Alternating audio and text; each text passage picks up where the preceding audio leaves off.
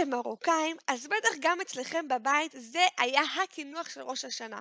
חטיפי סומסום. ולמה סומסום? בגלל הסימן שנפרה ונרבה כסומסום. אז בואו נכין את הסימן של ראש השנה, בואו נכין חטיף סומסום. מה שצריך, כוס וחצי של סומסום, כף של גרידה של לימון, כף תמצית וניל, חצי כוס סוכר וחלבון ביצה.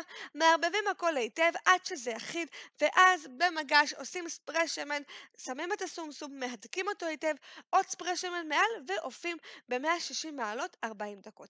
עכשיו אתם שואלים למה צריך גם סומסום? יש כבר שנפרה ונרבה כדגים. אז בואו נסביר לכם. דגים זה כמות, שיהיה לנו הרבה ככה בשפע, אבל סומסום זה איכותי, זה גרעין, זה מדבר על החינוך הילדים שלנו, שהילדים שלנו, שהחינוך שלנו, שייתנו פירות, שיהיה איכותי, שיהיה טוב, שמה שאנחנו משקיעים, הילדים שלנו, שיצא מהם דברים טובים לטובה. ולכן אומרים שנפרה ונרבה כסומסום, שהדברים- שהילדים שלנו יוצאו דברים טובים. אז תכינו חטיף סומסום, ושיהיה שנה טובה.